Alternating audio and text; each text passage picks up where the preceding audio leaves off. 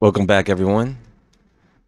So, I wanted to come back to this topic because I know that most of us here are fascinated by the idea that some of what we think are mountains and naturally formed mesas around the world are petrified or fossilized remains of giant ancient trees. And so, what I want to do here is, as we look at the geology, I want to take a closer look at the cultural and historical clues that could further support this idea. So here's the thing trees don't die simply because they get old. Many species can keep growing as long as their internal systems keep working and the environment allows it. The limit isn't in the age of the tree. There are physics and biology. As a tree gets taller and wider, it has to solve some problems. Moving water upward against gravity, supporting its own weight, surviving wind storms, internal decay. Even today, the tallest trees we know, like coast redwoods, are already pushing those limits. They're near the maximum height where that capillary action, that transpiration and internal pressure can realistically move water to the top under current Earth conditions.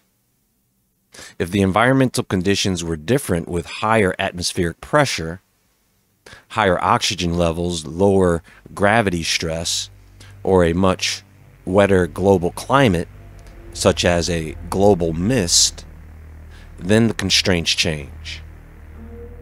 In Earth's distant past, we know for a fact that plants and insects reached much larger sizes than today.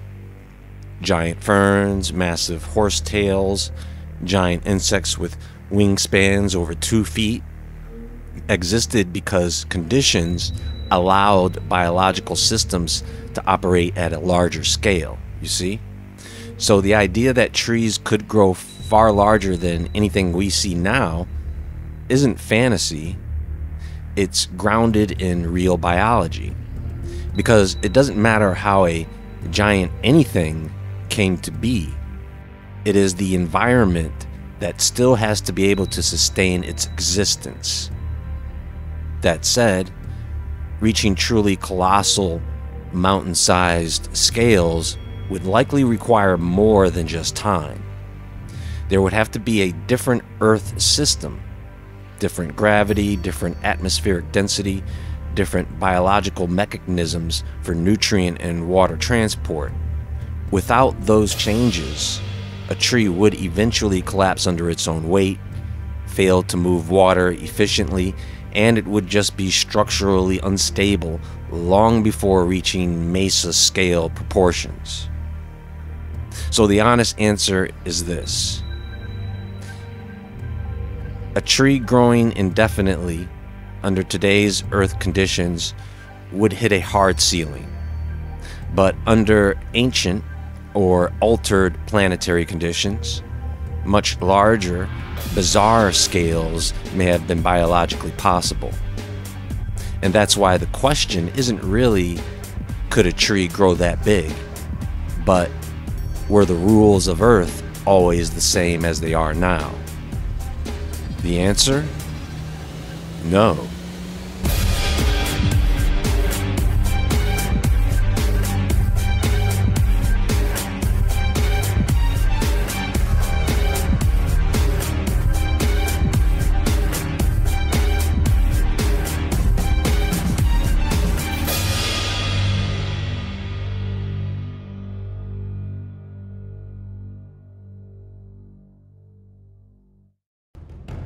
When you take a look at formations through maps, you know, overlays and aerial photography, you will see rivers that mimic root systems, mesas with perfectly flat tops, and vertical walls that rise like the sides of a giant sawed off tree. Each of these clues, together, it paints a picture of a sudden, high energy force at work. A force capable of altering the earth So if we look at the sediment, right, in many areas, the layers of soil and rock are stacked in ways that appeared it happened very fast. Almost as if the ground beneath the formations was buried in an instant. So, rapid burial not only preserves the shapes of whatever was beneath it, but also creates conditions for fast petrification, locking organic and mineral structures in place before they can erode away.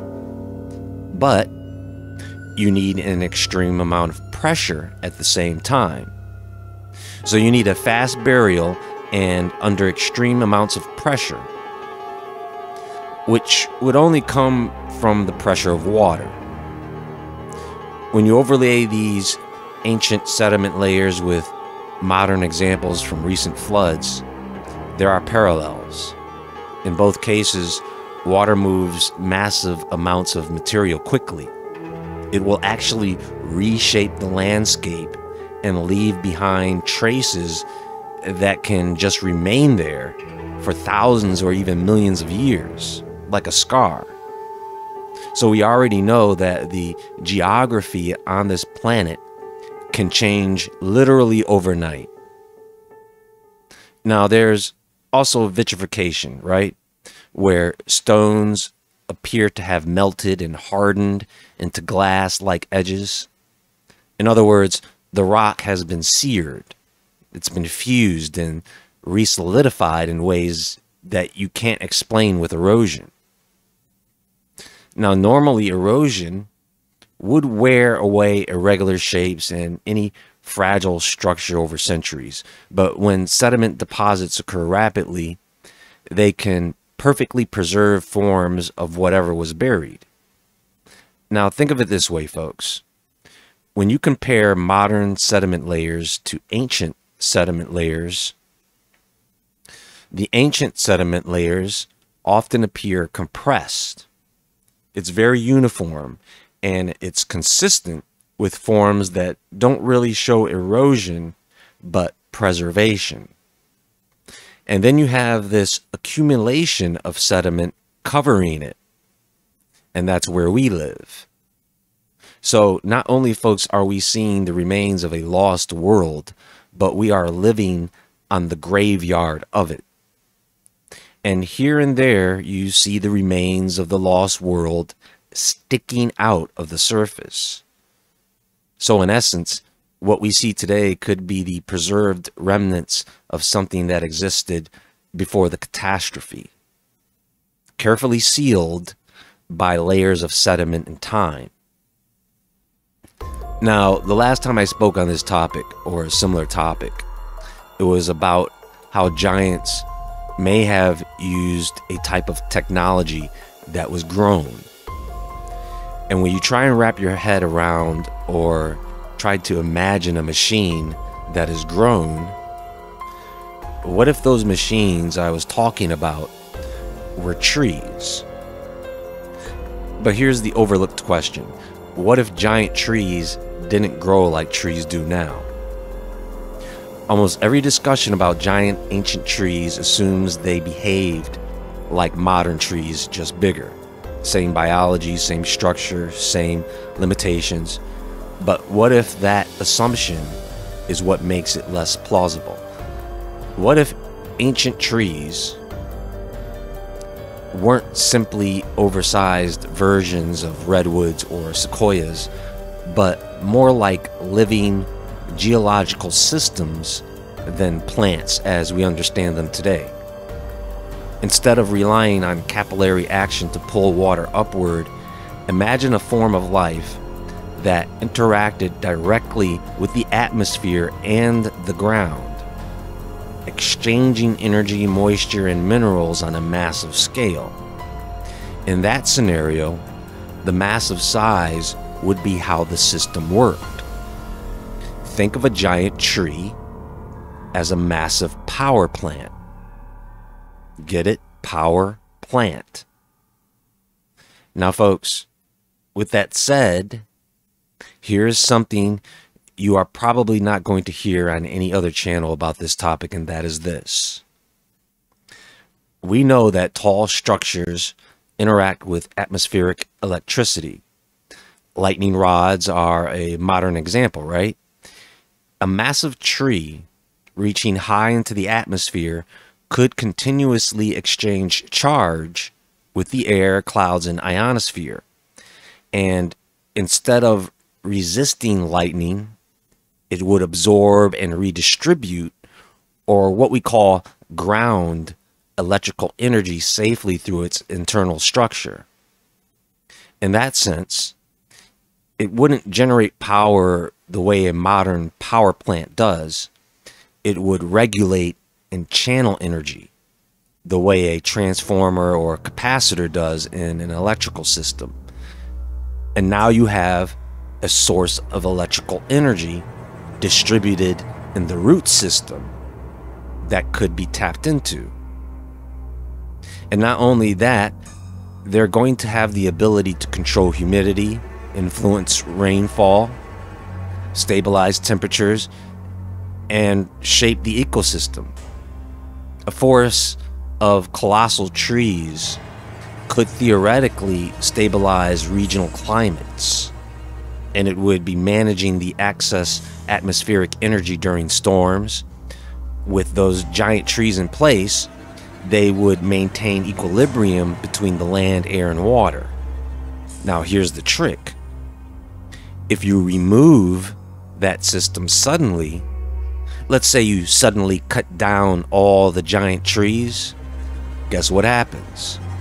A catastrophe because the planet would lose a major balancing mechanism. And so floods become more violent. Electrical storms are more chaotic and the landscape becomes unstable.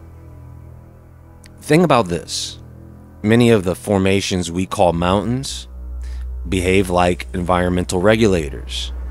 They influence weather patterns, direct rivers, affect local magnetism, they impact cloud formation, right? Trees today already do this on a small scale. They regulate humidity, they stabilize the soil, they interact electrically with the atmosphere. Now take that and scale it up, way up. If something like that existed, it would change how we interpret everything. It would change how we interpret sudden climate shifts, global floods, and it would change why certain regions look like they were reset all at once. Anyway, folks, that's going to be all for now, and there is more to come. Please click the thumbs up button for me on your way out. Let me know what you all think in the comments below. Everyone have a great day or evening, and until next time, stay awake, stay aware, stay safe, and I'll talk to you all soon.